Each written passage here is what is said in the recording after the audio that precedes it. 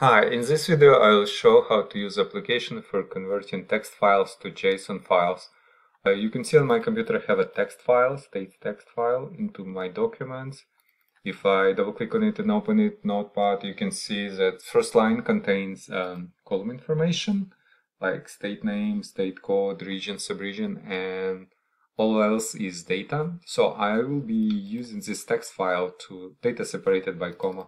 So I'll be using this text file to create JSON and uh, uh, it's important that if I want to create JSON tags, I will put them in first row. It's like naming, naming data, naming column, and application will use this first row to create JSON. Um, to download app, I will go to my website. This is my website. To find app, I'll click on search and type uh, text to get all text um, converters and I will click on convert uh, text file and scroll down to text to JSON and click on download button to start downloading process. I'll be recording more videos on uh, converters and how to convert uh, text files into different formats so if you are interested please consider subscribing to my channel We'll wait a little until archive will be downloaded on my computer. In a moment, yep, I'll click on downloaded archive, double click on MSI inside archive to start installation and click on more info on the screen. I'm getting that screen from Microsoft because I'm not registered publisher with Microsoft. You can see publisher unknown.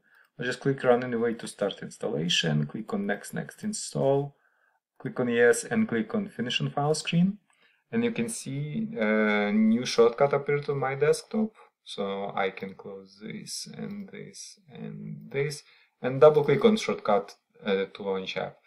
Now conversion is three steps process in step one. We'll have to select text file. I will click on this uh, button navigate to my documents and search for states states txt I need text file, right? State txt. And click on open.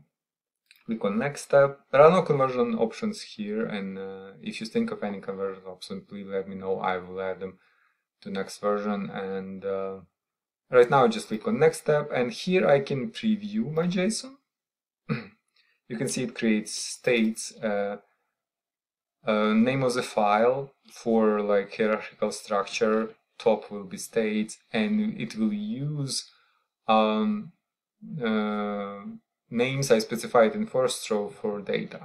So it will be stored like this. And then I'll click save result to save JSON file. It's asking me for name and location this name and location is okay. Just click save and that's it. Um, also, I can I can try open this JSON file into um, Mozilla. I think it's showing JSON files very nice.